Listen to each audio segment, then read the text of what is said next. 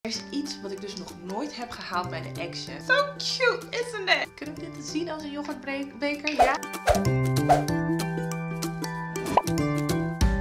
Hallo allemaal, super leuk dat jullie weer kijken naar een nieuwe video van Action Nederland. Ik ben Larissa en misschien ken je mij van mijn eigen kanaal Larissa Bruin. Daar maak ik ook vaak shoplog's en ook wel eens over Action. Dus ik zou zeggen, neem daar vooral een kijkje. Vandaag heb ik ook weer een hele leuke shoplog voor jullie op dit kanaal. En dit is tegelijkertijd een soort van challenge. Want ik ging proberen om van elk letter in het alfabet een item te scoren. Dus ik heb een soort van ABC shoplog gedaan. Dus de A voor Vul maar in. De B voor vul maar in. En zo heb ik dus voor elk letter iets gekocht. En ik kan jullie vertellen, het was best lastig. Ik heb al meerdere challenges gedaan. Meestal met een bepaald budget. Bijvoorbeeld 1 euro of 2 euro, 3 euro. Ik moet zeggen, dit vond ik wel de lastigste. Want er is gewoon best veel. Maar tegelijkertijd is er niet best veel voor elke letter. Dus ik neem jullie eerst mee naar de winkel. Zodat jullie kunnen zien hoe het me daar afging. Oké, let's get started met de A. Bij de A denk ik eigenlijk meteen aan afwasmiddel. En als je dan voor afwasmiddel gaat, dan kan je natuurlijk eigenlijk meteen ook wel voor wasmiddel gaan.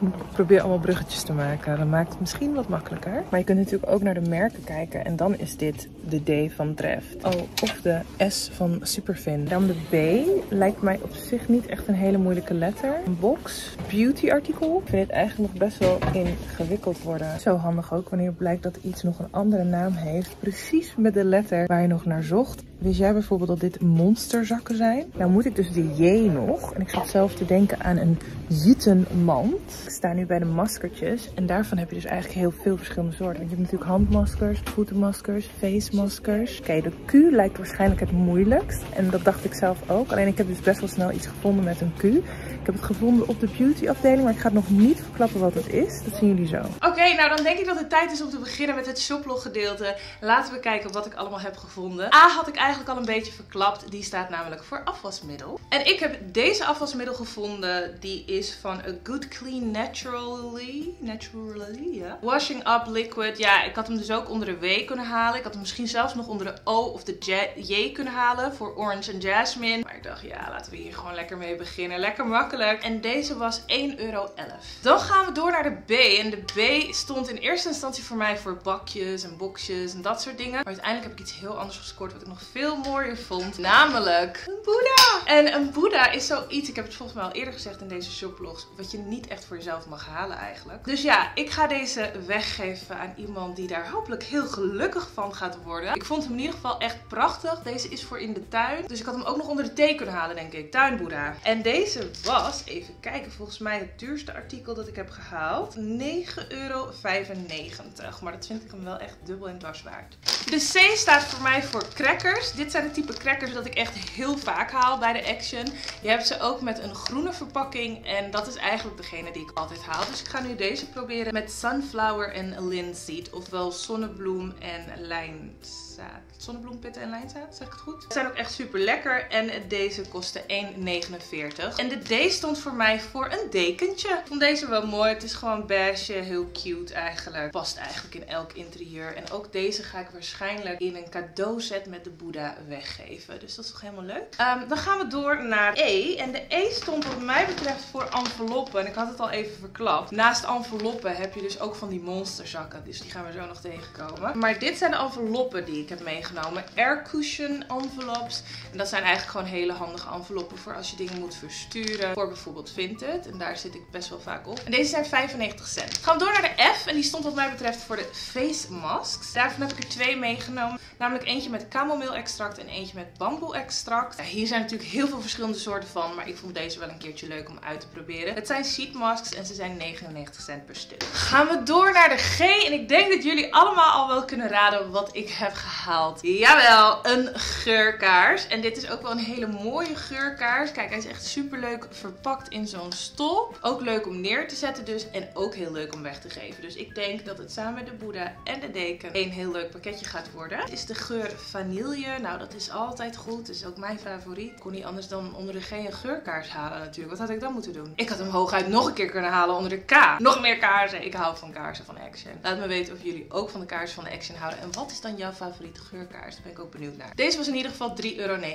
Gaan we door naar de H van handcreme. En uh, dit is nog een hippo handcreme. Dus nog meer haas. Ze hadden ook een hondje volgens mij en een vos. Gaan we door met de I. En ik heb echt het gevoel alsof ik alles heel snel laat zien. Maar let wel, het was echt heel lastig. En vooral bij de I heb ik echt lang moeten nadenken. En uiteindelijk heb ik ijsthee meegenomen. Dit is de Sparkling Green Tea Peach van Arizona. Ik zou bijna denken dat ik het nu groene thee moet noemen. Maar volgens mij gaat dit gewoon voor een ijsthee door, toch? En deze is 79 cent. De J van Jade Roller of Jade. Sommige mensen noemen dit Jade. Ik noem het ook Jade. Maar sommige mensen noemen het ook Jade. Ensures that skincare is better absorbed by the skin. Met andere woorden, dit helpt om uh, skincare beter op te nemen in het gezicht of in de in de, in de, in de huid. Juist. Het helpt ook nog de circulatie verbeteren. En het heeft een relaxing effect. Ik moet zeggen, ik heb er al meerdere hiervan. Dus misschien gooi ik hem ook wel bij dat cadeautje erbij. Gaan we door naar de K.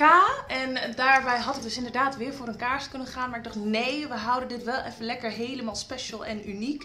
En dus ging ik voor een kom. Um, een grote kom wel. Ik heb ook een kleintje erbij gehaald. Ik vond deze echt heel erg gaaf. Hadden ze ook in een wat donkerdere grijs kleur of zwart eigenlijk bijna. Deze waren 4,99 euro voor de grote en 1,99 euro voor de kleine schaal. Slash kom. Kom. Kom, het is een kom. Dan gaan we door met de L. En dan had ik eigenlijk lipbalsem willen meenemen. Maar ik vind lipbalsem ook wel zo standaard. En er is iets wat ik dus nog nooit heb gehaald bij de Action. En dat begint ook met een L. Namelijk een laken. Echt zoiets waar je gewoon elke avond op ligt. Maar waar je niet bij stilstaat dat je dat nodig hebt. En ja, nu vond ik deze en dacht ik oké, top, top, top, top. En deze is 6,49 euro. Dan zijn we bij de M en die zagen we natuurlijk al aankomen. Dat zijn monsterzakken. Jawel. Ik had natuurlijk ook weer maskers kunnen halen. Ik vond monsterzakken wel echt heel leuk gevonden. Ik had geen idee dat die dingen zo heten. Maar kijk jongens, het staat er echt monsterzakken. Ik denk omdat ze zo groot zijn of zo. Maar ook dit gebruik ik vooral om uh, pakketjes mee te verzenden. Voor bijvoorbeeld Vinted. Dus super handig. Vijf stuks, 1,59.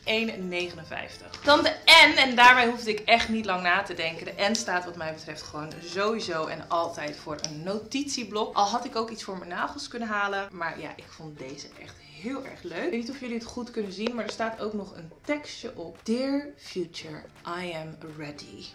Oh, so cute, isn't it? Ik moet zeggen, ik had er al even doorheen gebladerd en toen zag ik dat het eigenlijk meer lijkt op een planner. Maar ik denk dat ik er toch vooral notities in ga schrijven. Dus dan vind ik deze echt helemaal geweldig. Kijk, je hebt allemaal van die tabbladen per maand. Super handig. En dan staat er bijvoorbeeld goals, important dates, birthdays, to do this month en my plans. Bijvoorbeeld read, listen, buy, date, make, eat, go to, see, be. Dus ik vind dat echt super leuk. Ik zie nu ook dat er hele mooie plaatjes in staan. Ook weer een quote. Spring is a lovely reminder of how beautiful change can truly be. Nou jongens, ik word hier helemaal geïnspireerd. Gaan we door met de O van oogmaskers. Ik vond deze hydrogel of hydrogel eye masks. Die zijn vegan, hydrates en is soft for the skin around the eyes. En kijk, dit is hoe je ze dus uiteindelijk op moet doen. Dus die zitten echt alleen maar rond je ogen. Super boeiend. Ik denk dat ik nog nooit zo'n oogmasker heb gebruikt. Nou nee, niet dit. Niet dat die dan ook over de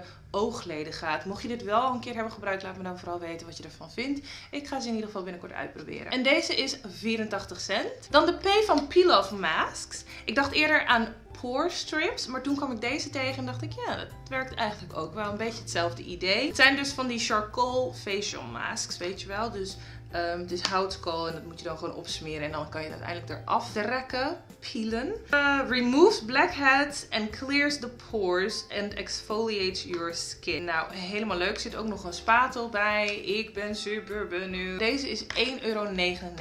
De Q!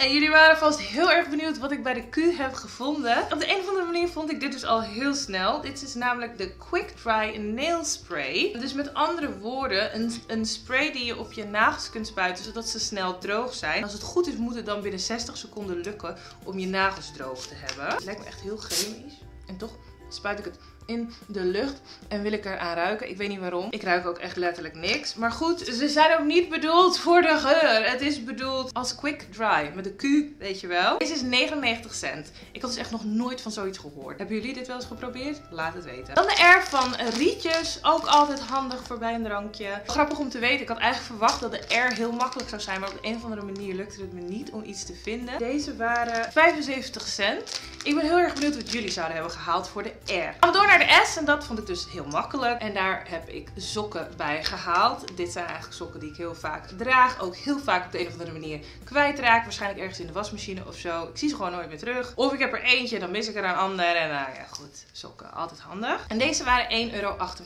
Gaan we door naar de T. En de letter zegt het eigenlijk al. En ik denk dat jullie ook al wel kunnen raden wat ik heb gehaald bij de T